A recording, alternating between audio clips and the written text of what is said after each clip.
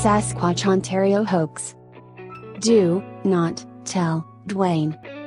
MP says that he's all about truth. Let's have MP put his money where his mouth is. MP.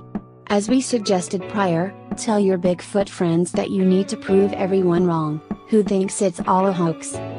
Tell your Bigfoots that you need to hide some cameras, and audio recorders, around the property, to see if Dwayne is hoaxing anything. Do not tell Dwayne that you're doing this. Do not. Let your Bigfoot friends know that you must do this to get all the naysayers off your back, once and for all. As usual, put out one of your point and shoot cameras, but hide a trail cam nearby pointed at the point and shoot camera.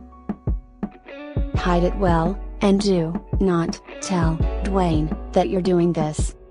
Do the same for areas you have paper out for drawings, around your car, and on the road, where you find footprints.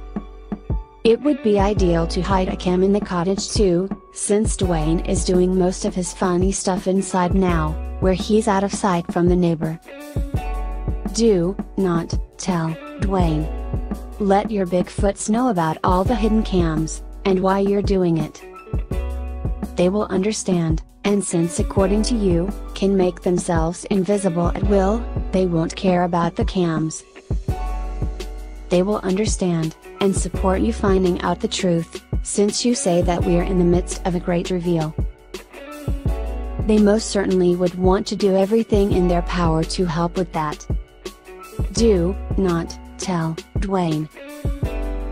Trail cams are really cheap now. You can pick them up for $30. We'll even pay for them. Just invoice us.